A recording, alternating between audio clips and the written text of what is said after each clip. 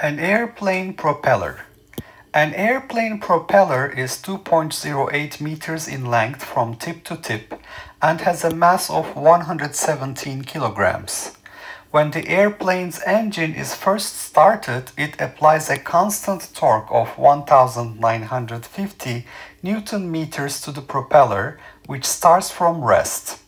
Part A, what is the angular acceleration of the propeller?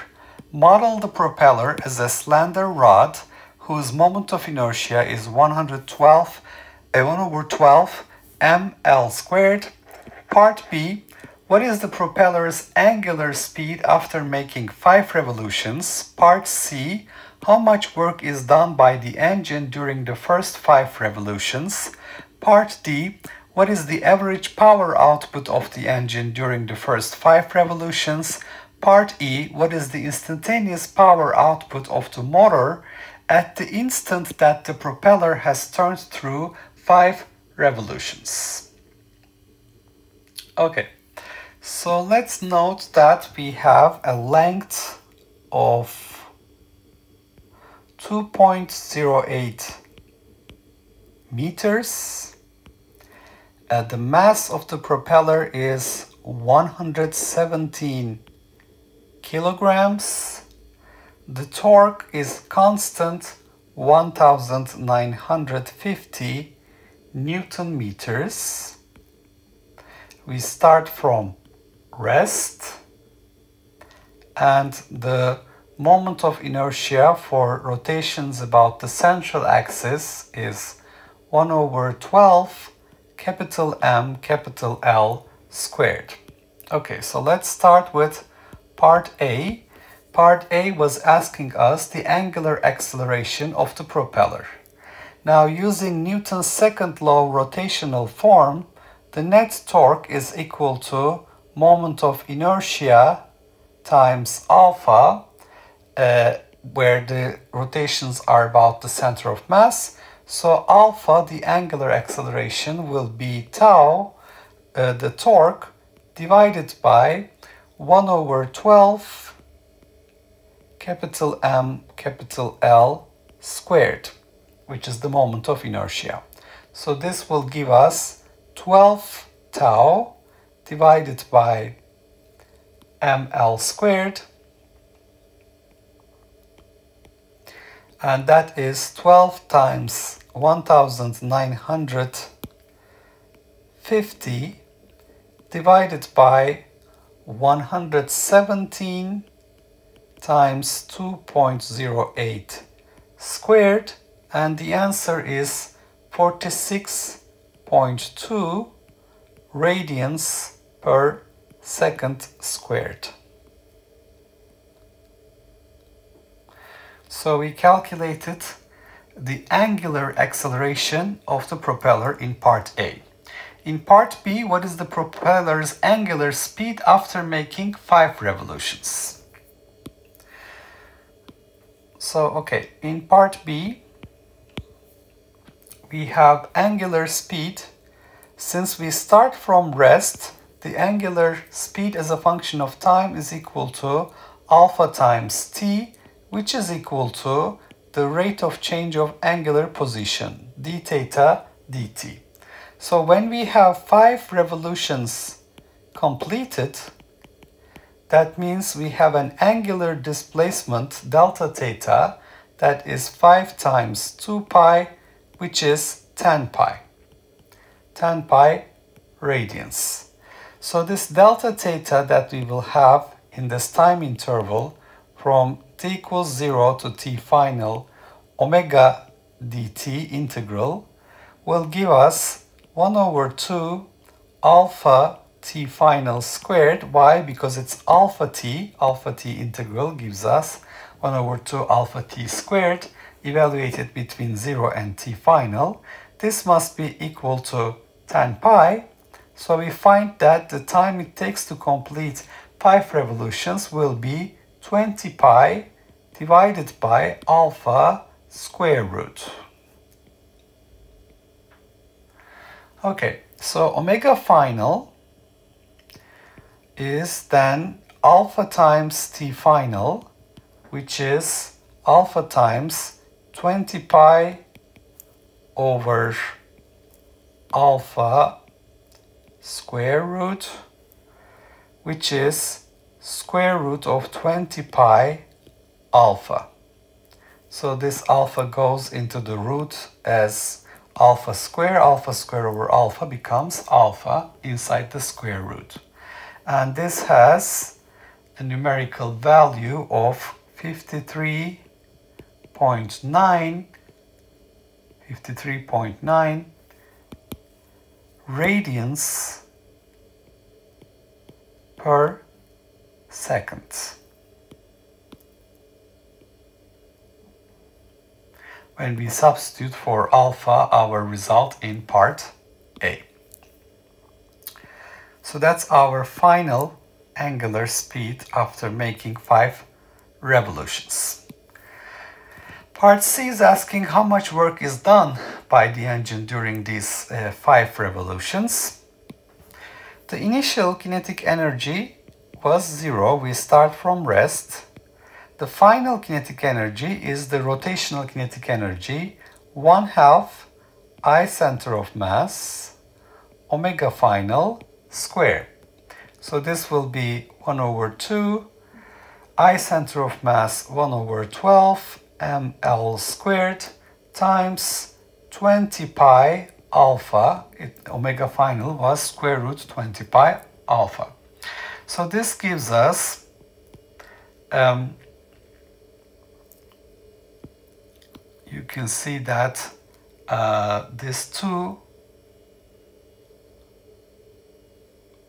will make this 20 10 and then we can have 10 becoming 5, making this 6.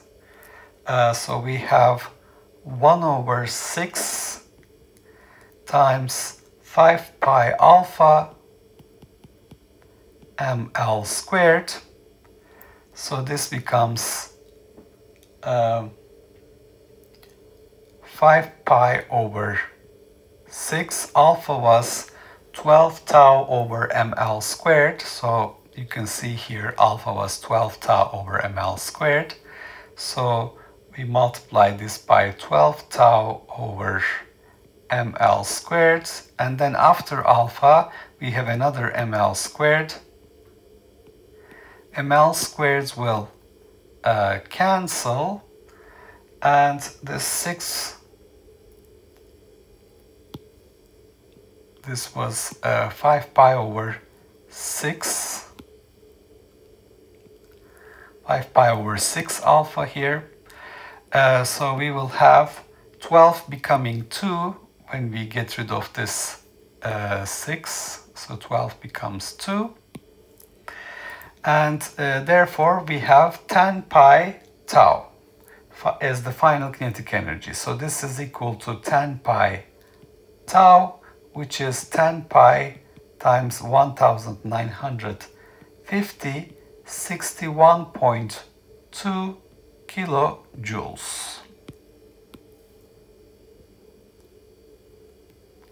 That's our final kinetic energy. So that's the energy that we gain in these five revolutions, which will be equal to the work done by the engine. What is the average power output of the engine during the first five revolutions? For the average power output, we have torque times average angular speed. Now the angular speed as a function of time was given as alpha t, so the average value of omega will be equal to omega final divided by 2. Why? Because we have a linear increase in time. So this will be 1 over 2 square root 20 pi alpha, which will give us square root 5 pi alpha because the 2 will enter the square root as 4 and make 25. So we can calculate the average uh, power 1950 newton meters was our torque the average angular speed is square root 5 pi alpha and when we substitute for alpha um, the result that we found in part A this is going to be 52.5 kilowatts. And part E is asking the instantaneous power at uh, this final time. So that will be torque times omega final, which is um, 2 tau omega average because omega average is uh, omega final over 2. So we just multiply the answer in part D by 2.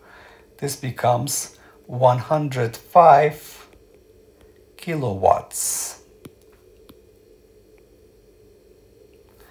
Okay, so we have an airplane propeller which is basically a slender rod with moment of inertia 1 over 12 ml squared it has a length L 2.08 meters, mass capital M 117 kilograms.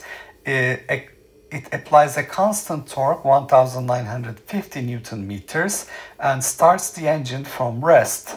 So the angular acceleration of the propeller is torque equals I alpha, Newton's second law rotational form, gives us, uh, when we substitute for torque our constant value and for moment of inertia 1 over 12 ml squared, and m and l are known, 46.2 radians per second square.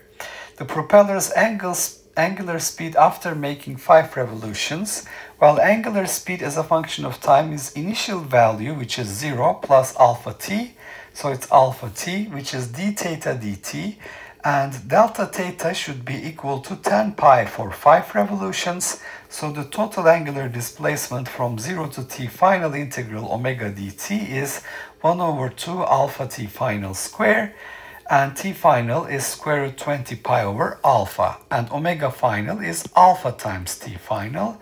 So that's square root 20 pi alpha which is 53.9 radians per second. How much work is done by the engine during the first five revolutions?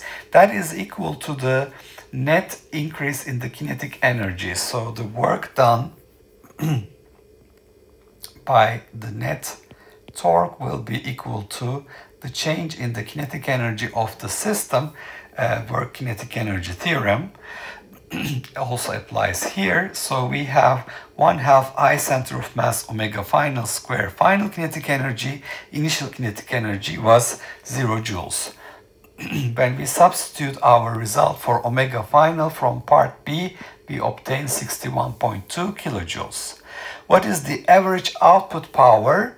It is tau times omega average for a constant torque situation and omega average is simply omega final over 2 because omega increases linearly with time and the instantaneous power is tau, uh, tau times omega final which is twice the result we have obtained in part